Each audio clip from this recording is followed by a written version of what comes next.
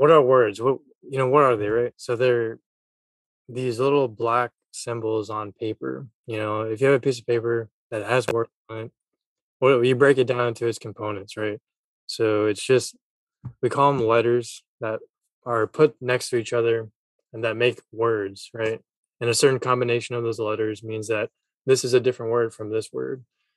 But when you break it down, it's just a piece of paper which is made from tree, and then it's ink that's put on the paper in a certain uh, pattern, right, to form a letter, which is put next to another pattern, which is another letter, right? Mm-hmm. So in that sense, do the words really exist, right? So words we could say like they mentally exist. They exist in our mind because we perceive the ink on the paper in that shape as a word. So mentally and psychologically, the word exists. I, My argument is just that words don't physically exist, right? So because when you break it mm. down, it's just ink, paper. If we're looking at my computer screen, it's just pixels being projected by various electronic mechanism. It's just an illusion. It's not really there. Can we say that wind exists even though sometimes we can hear it, sometimes we can feel it. You know, you see the dust flying, so sometimes you can see it.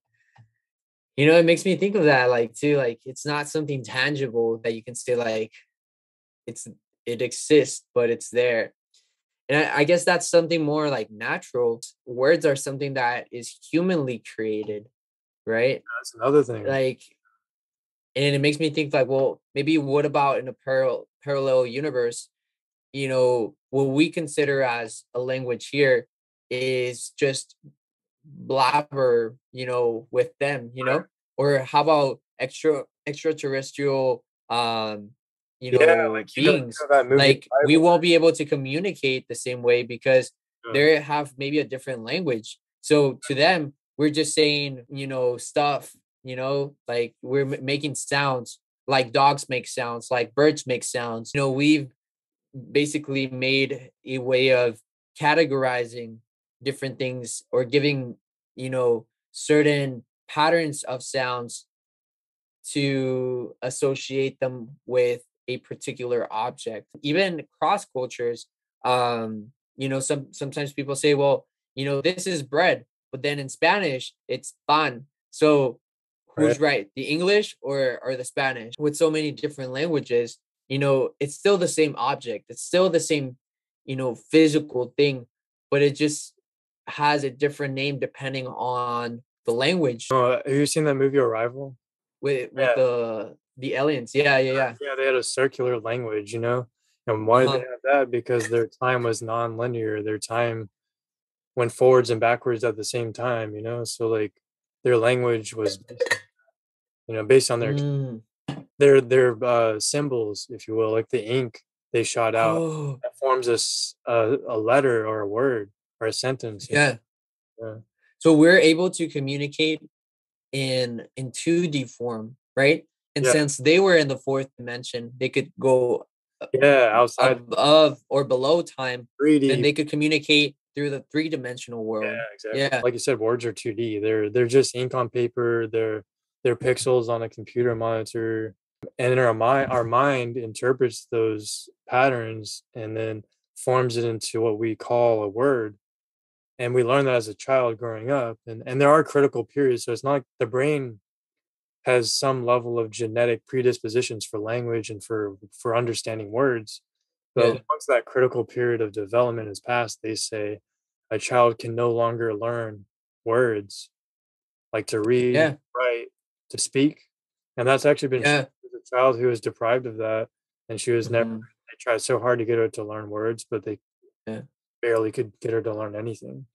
I've heard of that. Yeah, that that that they deprived her from, like it was like the special case where somebody held her away from society or something. Yeah, exactly. Feral children, children who yeah. grew up in the wild, same thing. Mm-hmm. So, and when I think of it like that, it's like it seems like the words are mostly psychological it doesn't mean they're not important and it doesn't mean we can't use them as tools physically do they really physically exist or is that or is what physically exists the ink and the paper you know that's i guess that's the question yeah yeah that's a that's, that's a good question. Yeah, I mean, it, it makes me think like, you know, right now that you were mentioning about the capacity to speak or or communicate in 2D, right? Like written word and stuff like that. You know, it makes me think like, well, are we capable of communicating in the fourth dimension fourth dimension? Yeah, if we You could know, is that what prayer is? You know, it makes me think of that. I know we've had a podcast about that, so don't want to get too much into it, but Yeah, but you know, briefly, that is true. Like, if you could, uh, maybe prayers do pass that barrier um, into the fourth dimension, and where we could say God or a higher power could exist. kind of like you said, the movie Arrival. Well, they communicated, you know, through these circular objects. Well, do do those circular objects exist? Maybe like you said, the the pen and or the pencil and the paper do exist. Yeah. But even, you know, the words that we use to refer to them, you know, do those exist? Yeah, and I think it's it, they exist within our reality. I think that's what it is. Maybe it exists within one's personal reality or one or one's general reality amongst people.